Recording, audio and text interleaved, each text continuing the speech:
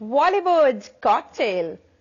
We all remember the Jungle Book and the character Mowgli Bagheera Sher Khan का 1968 की ये animated movie हर किसी के बचपन का पार्ट है।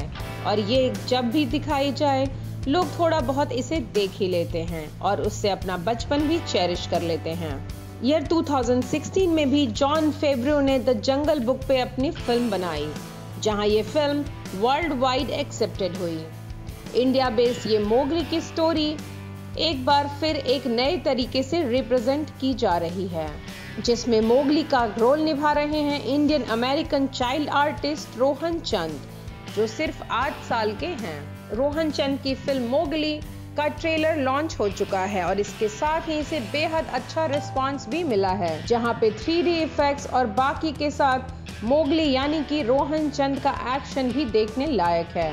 जंगल बुक और 1968 की बनी animated movie the jungle book से बिल्कुल अलग है ये फ़िल्म मोगली। जहाँ हम उस फ़िल्म में सभी जंगली जानवरों को हँसते, गाते और हैप्पी मोड में देखते थे। फ़िल्म मोगली का पर्पस बिल्कुल ही अलग है। जहाँ ये दिखाता है कि मोगली किस तरीके से एक सर्वाइवर एक आउटकास्ट और एक लेजेंड बनकर जंगल में मुसीबतों का सामना करता है और अपनी एग्जिस्टेंस के लिए भी फाइट ये फ़िल्म अक्टूबर 19 को रिलीज़ होने के लिए स्लेटेड है। Did you watch the trailer let us know आपको जंगल बुक ज़्यादा अच्छी लगी या फिर मोगली का trailer this is all from Miss Cocktail for now Do not forget to like this video and subscribe the channel to have every sip of Bollywood cocktail.